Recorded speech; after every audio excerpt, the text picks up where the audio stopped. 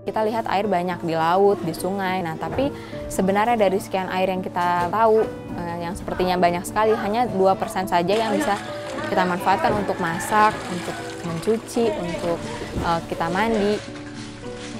Nah, sambil menghemat air, kita juga harus memastikan bahwa kantong-kantong air, yaitu uh, pohon-pohon, itu selalu ada. Nama saya Ade Putri Febriani, biasa dipanggil Ade. Saya mengajar sekarang di Sekolah Alam Cikeas, kelas 6. Saya tertarik mengikuti pelatihan RPP karena uh, saya percaya bahwa sebagai guru saya harus terus uh, mengembangkan kemampuan saya. Eh, anak-anak uh, uh, tidak bisa uh, hanya dengan metode met yang itu-itu saja belajarnya, tapi harus dengan uh, metode yang bervariasi sehingga mereka tertarik untuk um, terlibat di pelajaran itu. Nah, dengan mereka lebih terlibat pasti pemahaman yang ada semakin kuat gitu bedanya pelatihan yang dilakukan oleh pihak lain dengan yang baru saja diadakan British Council mungkin dari segi uh, penekanan pada uh, ramah, lingkungan gitu. Jadi kan ini kan tema yang sebenarnya um, sangat aktual gitu.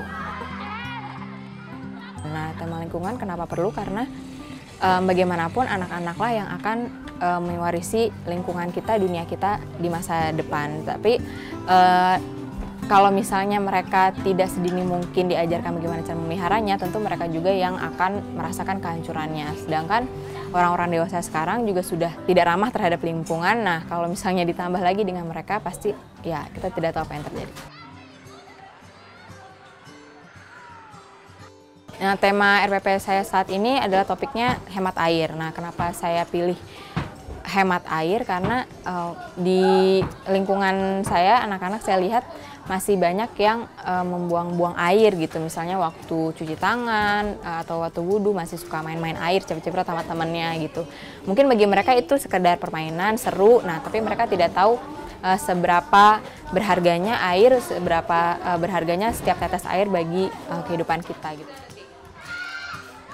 kegiatan yang telah kami laksanakan adalah pertama anak-anak uh, saya berikan pemahaman dulu mengenai bahwa berapa banyak air yang bisa kita manfaatkan di bumi ini, terus uh, betapa air bersih yang kita punya tuh sangat berharga. Nah, lalu saya ajak anak-anak untuk menghitung pertama debit air ya, di keran berapa, terus waktu yang diperlukan untuk menyikat gigi, mencuci tangan, uh, berwudu gitu. Intinya adalah kegiatan yang kita lakukan sehari-hari. Nah, dari situ kita dapat nih berapa volume yang didapatkan kalau misalnya debit airnya segini, waktunya sekian, nah berarti volumenya berapa. Nah, dari situ mereka sudah dapat pemahaman. Oh, kalau saya buang-buang air sekian detik atau sekian menit, berarti saya sudah buang air berapa banyak. Seperti itu. Nah, dari situ saya mengajarkan mereka matematika tapi disisipi dengan uh, pesan ramah lingkungan. Nah, e, karena ini tujuannya adalah untuk anak-anak sendiri, pesan lingkungannya, jadi lebih baik jika pesannya disampaikan dalam bentuk yang mereka sukai. Nah, akhirnya saya minta mereka untuk membuat poster yang sebenarnya mereka buat sendiri dan yang diharapkan untuk mereka sendiri yang akan membacanya dan memahami maksudnya gitu. Aku juga jadi uh, nggak buang-buang air juga kalau gigi kan kadang kerannya kebuka terus, jadi aku nggak boros lah.